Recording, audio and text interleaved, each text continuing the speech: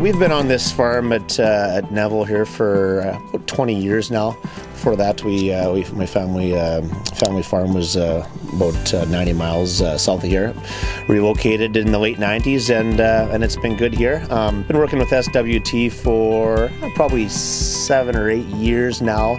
They built the new location at uh, at Wymark here a couple years ago, and so that's really been nice with full service uh, seed and uh, chemical and fertilizer up there, and, uh, and, some good folks to work with. So yeah, they've been uh, real good for for the farm here and uh, make things easy for me. It's always exciting come springtime to get back out in the field and move a little dirt and get in the machinery and drill some seeds in the ground and see if they grow. Conditions are, are pretty reasonable. I think it was uh, you know it's been uh, it, has been a dry year, but we've had uh, we've had some moisture now and some snow and uh, and things are looking uh, like we should get off to a good start. I think.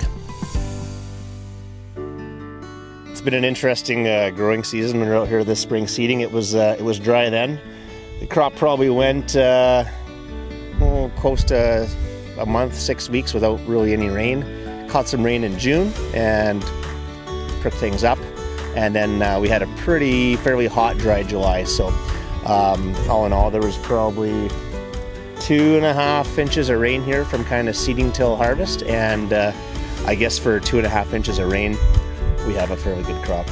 The terminal uh, has, uh, has, supported our farm for uh, probably seven, eight years now, and uh, We've been working with them on, um, the fertilizer and, uh, and chem input side. So they've been really good. Uh, they built the new plant at Wymark, which is uh, nearby, and uh, and have been uh, providing good uh, good service for the farm. Absolutely, and good good people there to deal with. It feels it always feels good to finish.